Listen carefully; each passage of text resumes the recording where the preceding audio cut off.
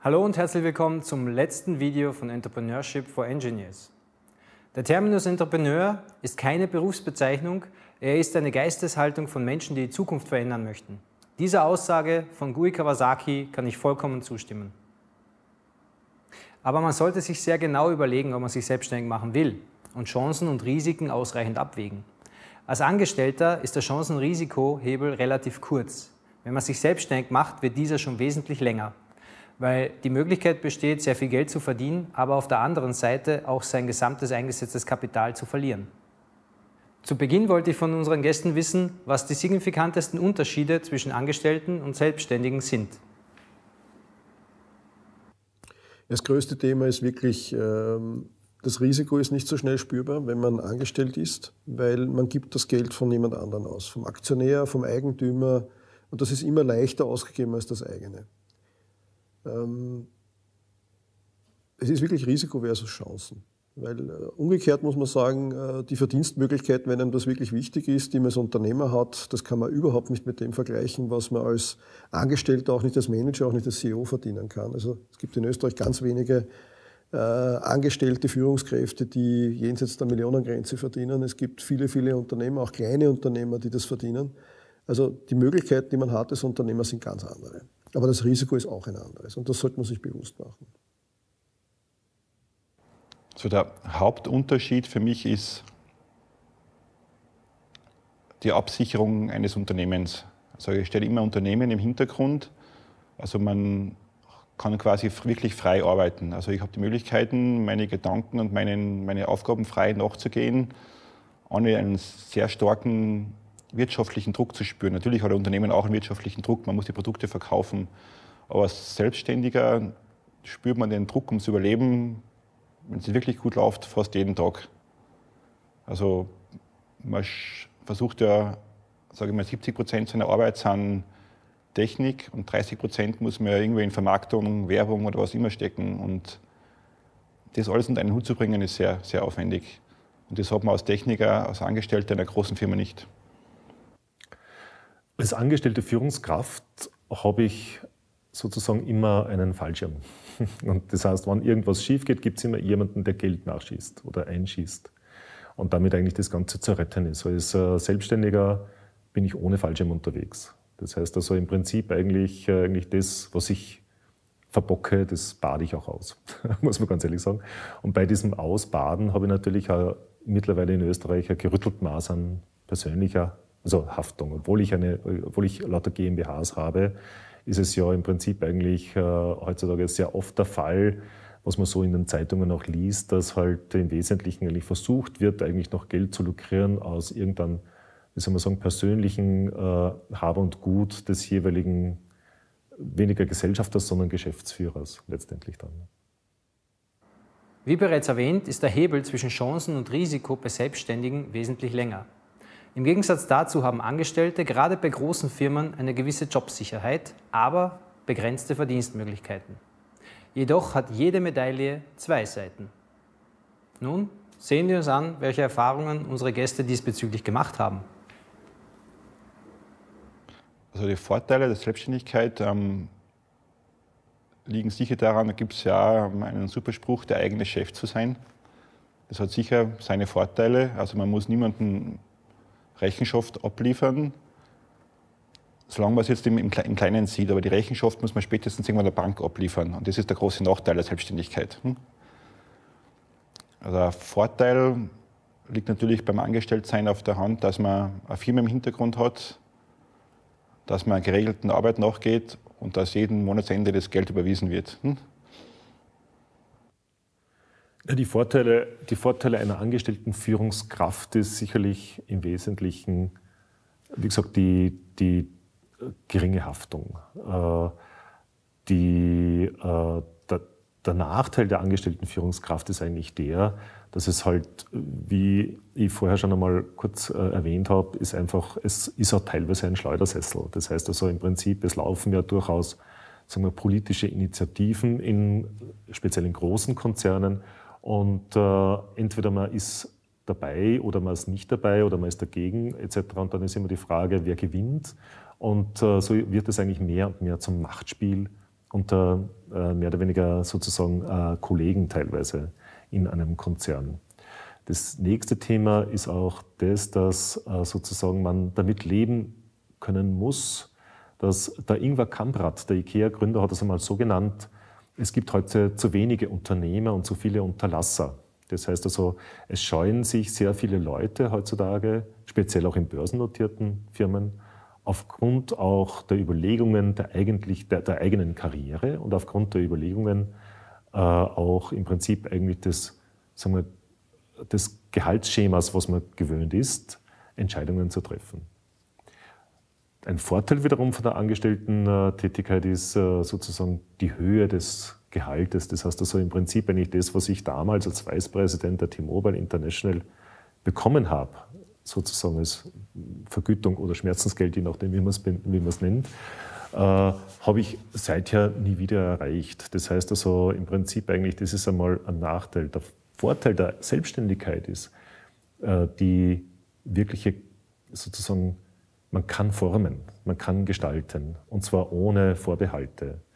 Äh, wenn ich jetzt sozusagen äh, meine Firmen äh, so weit hochbringe, dass sie sozusagen eigentlich alle ähm, jetzt massiv noch wachsen und ich es schaffe, dass ich Marktanteile im Wesentlichen mir hole in meinem Markt. Und das schaut momentan gar nicht einmal so schlecht aus, dass das eigentlich passieren könnte, dann habe ich halt den Vorteil, dass ich halt unverhältnismäßig mehr verdienen könnte und aber auch gleichzeitig eigentlich äh, meinen Mitarbeitern eine sehr stabile und auch lukrative Heimat bieten kann. Und damit sozusagen eigentlich ist es persönlich erfüllend. Wie schon gesagt, Risiko versus Chancen, also Verdienstmöglichkeit, äh, aber auf der anderen Seite auch, es kann halt auch viel schiefgehen. Aus der eigenen Firma geht man nicht so leicht raus und sagt, wurscht, suche ich mir einen neuen Job. Ja, das ist ganz was anderes. Und das ist vor allem, was die, ähm, was das persönliche Einbringen betrifft, das, wie, wie, wie intensiv ist man, kann, geht man mit den Themen schlafen, kann man abschalten, wenn man zu Hause ist. Das ist bei einer eigenen Firma viel, viel, viel, viel schwieriger. Ja. Wenn man sich mit seiner Arbeit stark identifiziert, erlebt man das oft dass auch, auch als Angestellter, dass man mit allen Themen nach Hause kommt und am Wochenende einem noch die Ideen kommen, die man am Montag gleich wieder umsetzen. So soll es ja auch sein. Aber die emotionale Einbindung und vor allem auch die, die emotionale Belastung, die dadurch entsteht, ist bei einem eigenen Unternehmen wesentlich größer. Das ist der Vorteil als Angestellter. Das zweite Thema ist natürlich auch, je nach eigener Möglichkeiten, man hat oft in Groß, gerade in Großunternehmen als Angestellter kriegt man eigentlich oft relativ große Ressourcen zur Verfügung, die man mit einem eigenen Unternehmen, gerade wenn man es erst aufbaut, lange Zeit nicht hat. Und das ist das Thema halt, welche Ressourcenmöglichkeiten habe ich. Aber mit geeigneter Finanzierung ist auch das lösbar. Also da würde ich jetzt nicht einmal den großen Unterschied sehen. Meine nächste Frage ist, welche fachlichen und persönlichen Voraussetzungen man mitbringen soll, wenn man sich selbstständig machen will. Zwei, zwei Sachen. Also es ist im Prinzip eigentlich neben, neben dem Thema, was wir vorher schon besprochen hatten, äh, im Prinzip eigentlich, dass man mehr oder weniger äh, den Markt richtig einschätzen können sollte, muss man auch initiativ sein, also sehr, sehr, sehr große Initiative äh, bringen um einfach auch wirklich an Kunden heranzugehen. Man sollte auch nicht äh, äh, gewisse Scheu haben von, von Kontakt mit, äh, mit äh, möglichen Kunden und man sollte auch im, im Wesentlichen eigentlich ein gewisses wie soll man sagen, Vertriebstalent äh, nicht also haben und unter haben meine ich aber auch, dass man das ja nicht per se hat. Es gibt Leute, die sind äh, geborene Vertriebsgenies, ja, das gibt es natürlich.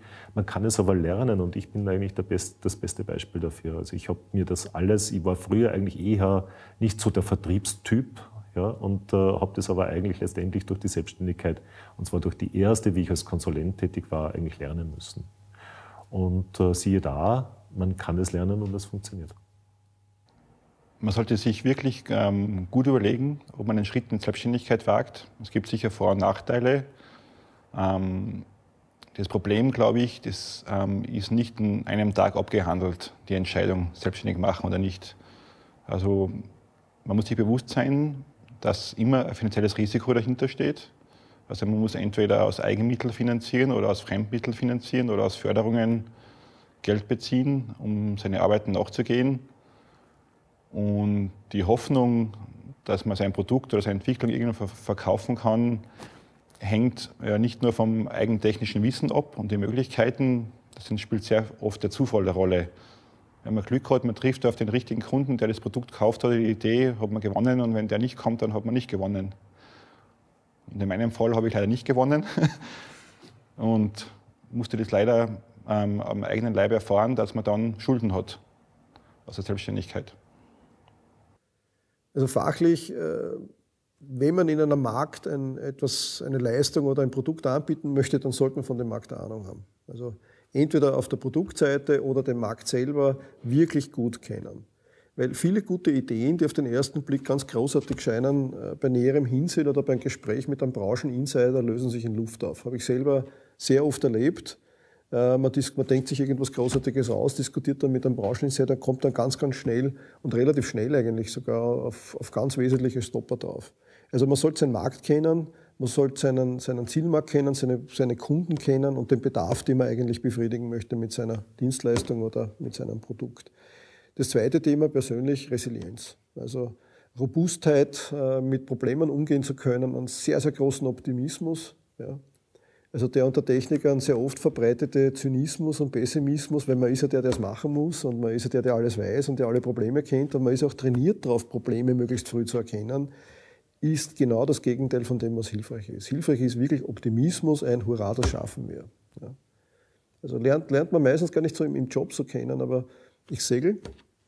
Und wenn man mal in einem äh, Sturm drinnen ist und man ist der Skipper und jedem ist schlecht, alle würden am liebsten die Nerven wegschmeißen, es hilft aber nichts, man ist da draußen, man muss einfach weiterfahren, dann hilft eines ganz sicher nicht, das Problem zu beschreiben und äh, sich vielleicht noch zynisch darüber zu äußern oder zu diskutieren, wie tief das Boot sinken kann. Sondern das Einzige, was hilft, ist, haben wir alles schon mal gemacht, habe ich schon viel Schlimmere erlebt, auch wenn man das erste Mal auf einem Boot steht, es ist vollkommen egal, machen wir, schaffen wir, tun wir. Das ist ein ganz wichtiger, das muss man können. Also man muss wirklich in, jedem, in jeder Situation noch das Positive finden können.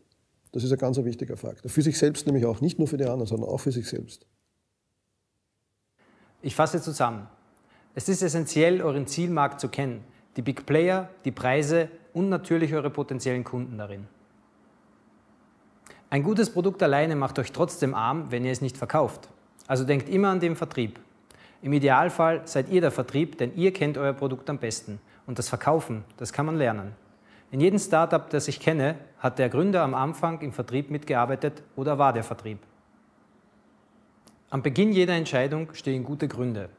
Aus diesem Grund haben wir unsere Gäste gefragt, was die Motivation war, sich selbstständig zu machen. Ähm, die Gründe, mich selbstständig zu machen, waren eigentlich nicht wirklich vorhanden. Es war eher die Idee von meinem Diplomarbeitsbetreuer, der gemeint, ja, riskieren wir das, wir eine eigene Firma. Ähm, ich war damals relativ jung und habe mir ganz ehrlich nicht sehr viele Gedanken gemacht, was ich, welche Risiko jetzt da eingehe oder welche Chancen ich eingehe, mich selbstständig zu machen. Für mich war das eher Verlängerung ähm, zu Beginn der Diplomarbeit. Das heißt, war das gleiche Thema bearbeiten, das heißt täglich ins Büro gehen, weiterforschen. Aber es war sehr wenig Verständnis dahinter, was hinter Selbstständigkeit steht. Also was Risiko betrifft, Finanzierung, Chancen und Gefahren. Ja. Der Grund war einfach, es war eine Idee da, die, wovon mit einem Kollegen gemeinsam sehr überzeugt war. Es gab keine Möglichkeit, diese Idee beim damaligen Arbeitgeber umzusetzen. Wir waren uns sicher, das ist aber genau das, was unsere Kunden brauchen im Markt. Und es war in der Firma einfach der Mut nicht da, einen eher, eher drastischen Schritt zu machen, was Systemarchitektur und, und Konzepte betroffen hat für diese Lösung. Und man muss auch dazu sagen, auch das ganze Environment hat dann auch nicht mehr so gepasst. Also es war auch der, der Wunsch auf meiner Seite wieder nach Veränderung da. Und dann war irgendwie die Idee dann, dann machen wir das doch selber. Und das war eigentlich die Motivation, es zu machen. Also ich hatte nie so vor, ich werde selbstständig oder so. Warum eigentlich nicht? Schwer zu beantworten. Wahrscheinlich einfach, weil das in meinem Umfeld nicht so selbstverständlich war. mein Vater war Geschäftsführer von einem Unternehmen, aber doch immer im, im Angestelltenbereich tätig. Und hat viel Spaß gemacht. Ja. Also welche Erfahrungen macht man? Ha, ganz andere, als man vorher geglaubt hat. Also gerade wenn man, wenn man eine Zeit lang oder einige Jahre als Angestellte in in mittleren oder größeren Unternehmen gearbeitet hat, es ist komplett anders. Ist vor, allem, vor allem, wenn man wirklich ein Startup von klein auf beginnt, wirklich von null weg, unglaublich. Ja. Und ähm, war auch sehr, sehr intensiv, sehr Würde ich heute nicht noch einmal machen. Auf diese Art. Ich würde es anders machen. Ja. Aber war eine, eine tolle Erfahrung. Ich habe wahnsinnig viel dabei gelernt. Man muss sich noch breiter aufstellen, wenn man sich wirklich mit allem beschäftigen muss. Also die, das richtige, also erste Haarlebnis hatte, ich habe dann so ein kleines Büro eingerichtet, da haben wir dann gearbeitet, zwei Programmierer, da ist natürlich um Software gegangen, da kann man ja am meisten bewegen und haben halt begonnen zu arbeiten. Und äh, so richtig klar den großen Unterschied habe ich gemerkt, wie dann einen der ersten Tage ins Büro komme und der Kaffee und das Hefe steht noch immer am Tisch. Dann war mir klar, jetzt, jetzt hat sich deine Welt wirklich dramatisch verändert. Ja. Jetzt gibt es niemand mehr, der hinter dir den Mist wegräumt, sondern du musst dich wirklich um alles selber kümmern.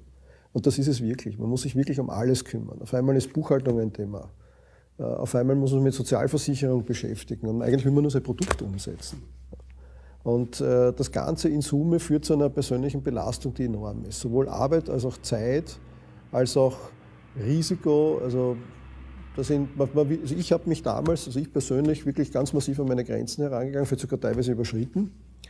Äh, war wirklich eine sehr interessante Erfahrung. Also was Stress betrifft, was Sorgen betreffen, weil man steckt viel Geld rein und die Dinge passieren ja nie so wie geplant. Es dauert alles immer länger, bis man den ersten Auftrag bekommt. Ich war dann also gut und erfolgreich unterwegs, aber trotz allem hat das viele schlaflose Nächte und äh, man muss es wirklich beim Namen nennen. Ich meine, Selbstständigkeit am Anfang ist Selbstausbeutung. ist massive Selbstausbeutung. Wenn man Glück hat, hat man noch Familien und Freunde, die noch mit unterstützen.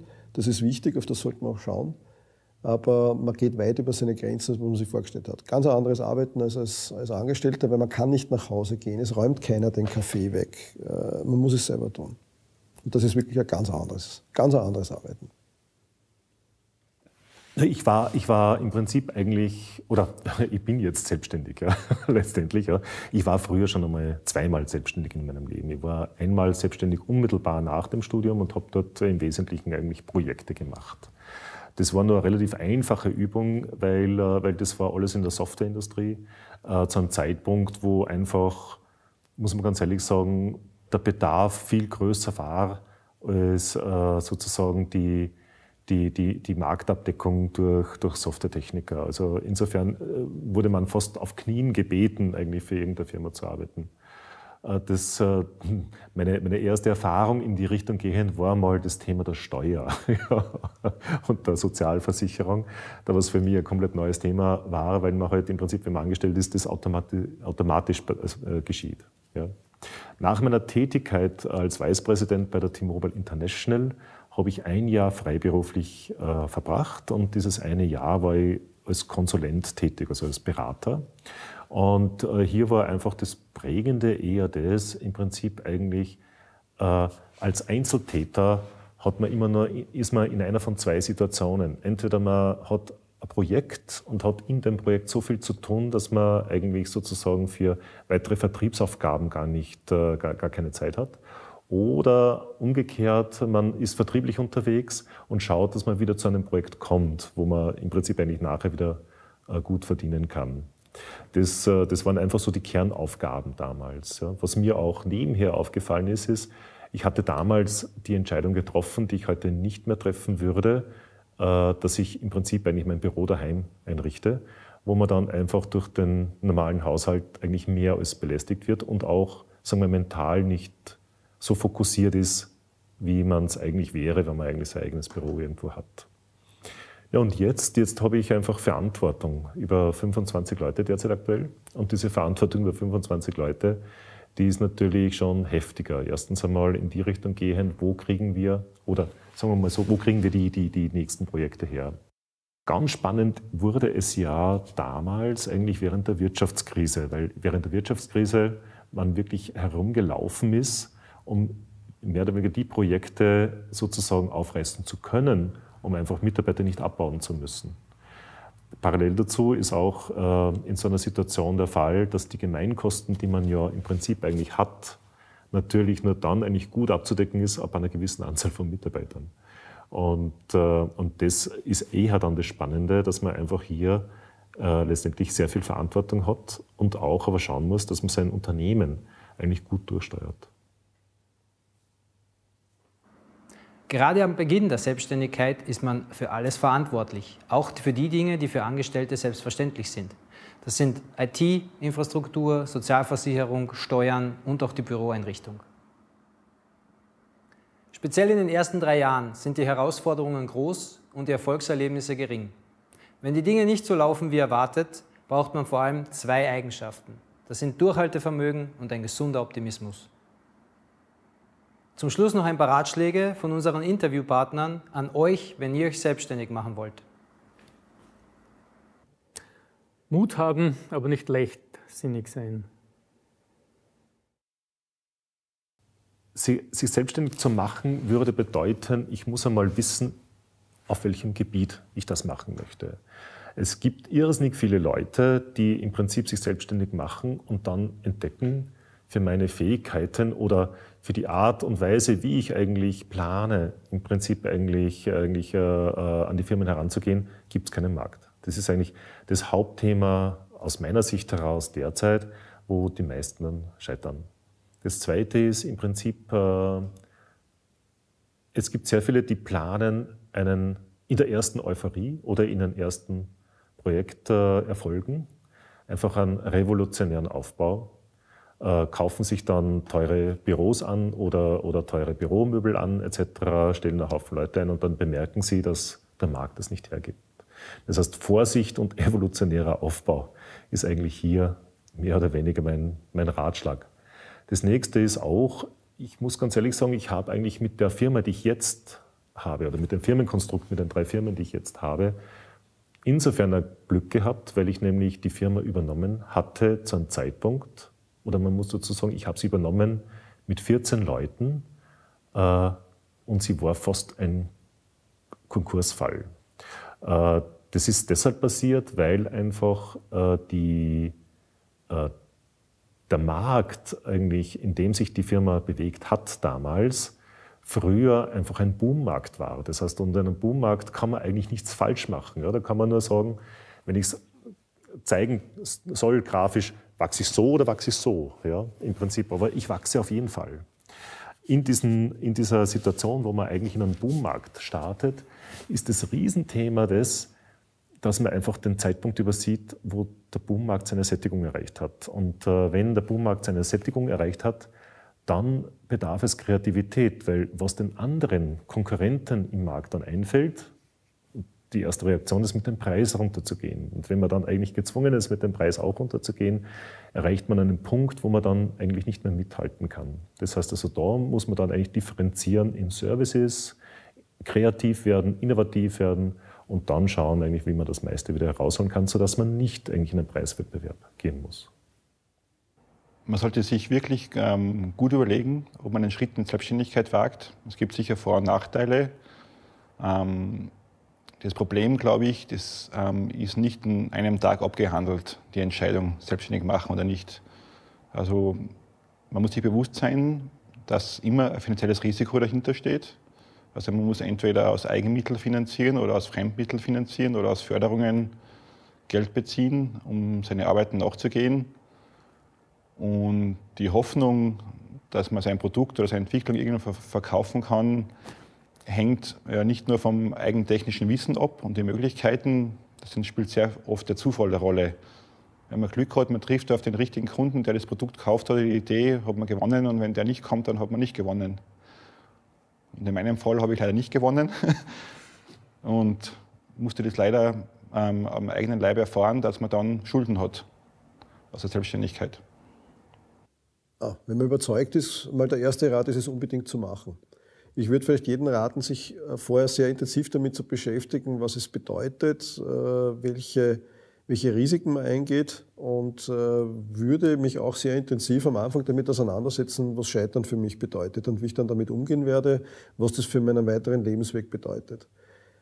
Aber wenn man überzeugt ist, es zu machen, bitte unbedingt machen. Wir brauchen mehr Selbstständige. Also die Welt lebt nicht, äh, die großen Ideen kommen, nicht, kommen selten von, von Angestellten oder so, sondern meistens von Unternehmern. Und gerade in Österreich, wir brauchen viel, viel, viel, viel mehr Unternehmer. Und so wie ich es zuerst erzählt habe, also in meinem gesamten Kontext war Unternehmer sein eigentlich gar nicht präsent. Ja, das, ist, das ist bei uns auch in den Medien selten da. Der Unternehmer ist, wenn man mal was liest in der Zeitung, eher der Böse, der Leute rausschmeißt oder so, also ganz, ganz negativ besetzt eigentlich. Ich habe es mit Zielpunkt jetzt gerade erlebt wieder.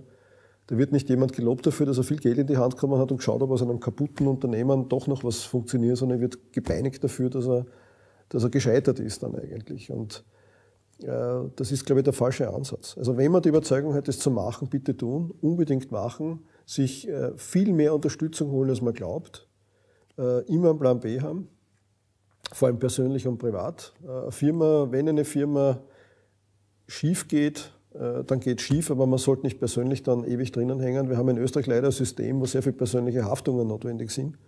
Und äh, wenn man scheitert, sollte man nicht zehn Jahre brauchen, bis man wieder auf die Beine kommt, weil das kann Leben zerstören. Das sollte man sich bewusst machen und dann kann man das tun. Dann sollte man es auch machen, unbedingt sogar bitte. Wie ihr gesehen habt, gibt es viele Wege, sich selbstständig zu machen. Oskar hat die Chance gesehen, ein Produkt anzubieten, wozu seine Firma nicht bereit war. Harald hat zuerst bei anderen Unternehmen Erfahrungen gesammelt und im Anschluss ein Firmenkonstrukt übernommen und Markus hat direkt nach der Uni ein ganz neues Produkt angeboten. Jeder von euch wird seinen eigenen Weg finden. In diesem MOOC kann ich euch nicht das perfekte Vorgehen zeigen, jedoch eure Sinne dafür schärfen, was auf euch zukommen kann, damit ihr nicht jeden Fehler selbst machen müsst. Gerne haben wir unsere Zeit und Anstrengungen in diesen Kurs investiert und unser Bestes gegeben. Wir würden uns deswegen über euer Feedback freuen, wo ihr uns sagt, worüber ihr noch mehr erfahren wollt und was euch besonders interessiert. Ich bedanke mich herzlich für eure Teilnahme. Ich hoffe, wir sehen uns in einem anderen MOOC wieder oder vielleicht in meiner Vorlesung. Behaltet den Himmel im Auge, euer Mr. Pfister.